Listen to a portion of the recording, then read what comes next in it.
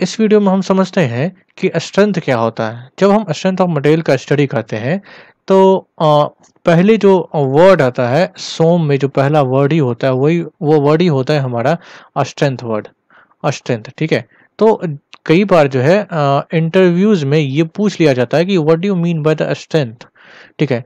तो यहाँ पे जो बेसिकली स्ट्रेंथ जो पूछा जाता है, वो मटेरियल का स्ट्रेंथ के परस्पेक्टिव में पूछा जाता है। तो इसको समझेंगे कि किसी भी मटेरियल का स्ट्रेंथ का मतलब होता क्या है? देखो स्ट्रेंथ जो है it is nothing but a simply ये क्या होता है, एक स्ट्रेस वैल्यू होता है। ये स्ट्रेस ही वैल्यू है स्ट्रेस का वैल्यू ही होता है। जैसे स्ट्रेस होता है आपका जिसका कि अगर यूनिट का बात करूँ तो यूनिट जो है इसका मेगा पास्कल या तो फिर पास्कल लेते हैं। उसी तरह ये स्ट्रेंथ भी होता है। बट ये एक लिमिटिंग वैल्यू होता है। लिमिटिंग वैल्यू इन केस एक एक लिमिट होता है किसी भी मटेरियल का और ये जो है स्ट्रेंथ वो मटेरियल का प्रॉपर्टीज़ होता है। जबकि स्ट्रेस के बारे में हमें पता है कि ये किसी मटेरियल का प्रॉपर्टीज़ नहीं होता है। बट स्ट्रेंथ जो है वो किसी भी मटेरियल का प्रॉपर्टीज़ बताता है कि वो आ, वो मटेरियल जो है कितना स्ट्रॉन्ग है ठीक है? तो स्ट्रेंथ से हमें ये पता चलता है। हम स्टेटमेंट देख के समझने की कोशिश करते हैं। यहाँ पे मैंने लिखा हुआ है it is a maximum amount of stress that a material can withstand without failure ठीक है? Without failure maximum amount of strength जो कोई मटेरियल झील सकता है, इसको विथ स्ट्रेंथ का सिंपल सा अगर मैं मीनिंग बताऊँ तो झील सकता है, ठीक है? तब तक वो फेल बिना फेल हुए वो झेल सकता है, ठीक है?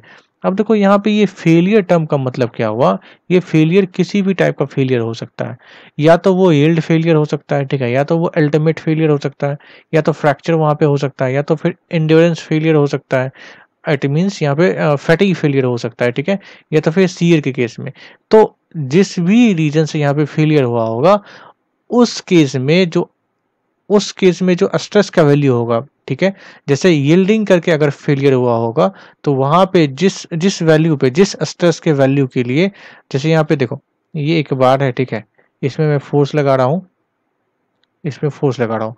तो होगा क्या? ज़्यादा जैसे जैसे हम फोर्स का वैल्यू इंक्रीज करेंगे तो ये देखो, ये ग्राफ में जो है इसका लोड का वैल्यू जैसे जैसे यहाँ पे हम बढ़ाते जाएँगे तो इसमें जो है डिफॉर्मेशन भी बढ़ते जाएगा। तो सबसे पहले जो आएगा, यहाँ लिमिट ऑफ़ प्रोपोर्शनिटी आएगा। यहाँ तक कोई फेलियर नहीं होता है। जनरली फेलियर जो टर्म है, ये हम एज्यूम करते हैं कि हम कहाँ तक कब बनाना चाहते हैं, ठीक है? डिपेंड करता है वो इंजीनियर्स पे कि कोई भी कंपोनेंट को, कोई भी कोई भी काइनेमेटिक या कोई भी मशीन कंपोनेंट को, वो किस वैल्यू तक वो फेलियर उसको मानेंगे, ठीक है? जैसे जो ज़्यादा सेफ़ चीज़ें होती है, उसको हम यहीं पे फेलियर उसका समझ लेते हैं, आगे बढ़ने ही नहीं देते हैं, ठीक है? जहाँ पे जान वगैरह का थोड़ा इशू रहता है, ठीक है? बट जहाँ पे हमारा, चलो ठीक है लाइफ का कोई इशू नहीं है तो हम उस मटेरियल को यहाँ तक यूज़ करते हैं। ठीक है, इस डिफॉर्मेशन तक। तो फेलियर जो टर्म है, वो एक इंजीनियर डिसाइड करता है किसी भी कंपोनेंट के लिए, ठीक है। कुछ कंपोनेंट के लिए जो है यील्डिंग जो है यील्डिंग जो कि यहीं पे होता है, उसी को फेलियर मान लिया जाता है। कुछ कंपोनेंट के लिए जो है प्लास्टिक डिफॉर्मेशन जब स्टार्ट होता है, तब जाके हम उसको मान लेते हैं। कुछ के लिए प्लास्टिक डिफॉर्मेशन जब लास्ट इंड पे होता है, यानी अल्टीमेट पे होता है, यहाँ पे अल्टीमेट पॉइंट पे होता है, वहाँ पे हम फेलियर मानते हैं। कुछ के लिए जब तक फ्रैक्चर नहीं हो जाता, जब तक टूट नहीं जाता, तब तक हम फेलियर नहीं मानते हैं।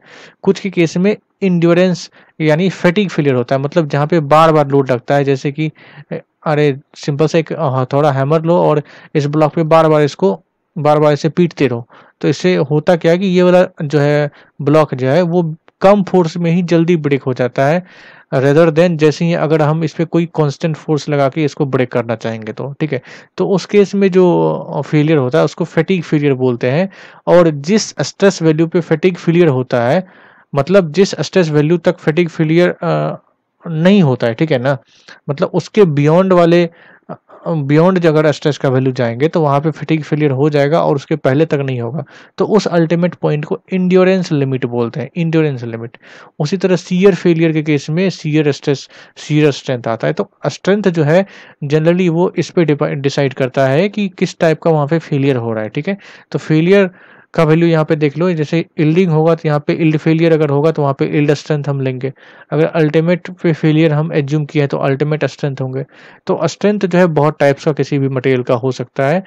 वो हमारी डिज़ायर पे डिपेंड करता है कि हम किस टाइप का स्ट्रेंथ का यूज़ करना चाहते हैं अपने मशीन कंपोनेंट को डिज़ाइन करने के लिए, ठीक है?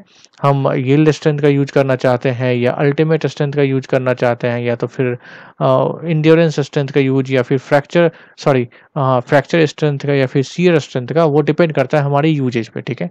तो स्ट्रेंथ बेसिकली एक मैक्सिमम अमाउंट ऑफ़ स्ट्रेस है, यानी लिमिटिंग स्ट्रेस है, ठीक है? जो कि डिफरेंट टाइप ऑफ़ फेलियर को होने से रोकता है अप टू दैट ठीक है?